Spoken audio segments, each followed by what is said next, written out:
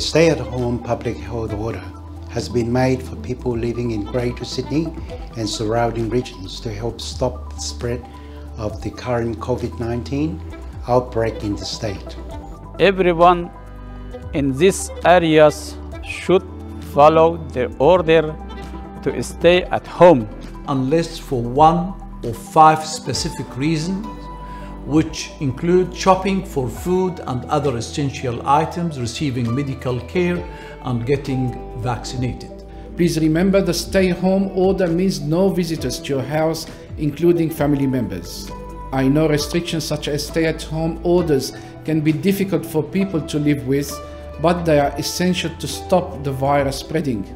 If you have even the mildest of symptoms, please get tested. And if you are eligible, please book a vaccination appointment. Financial support is also available.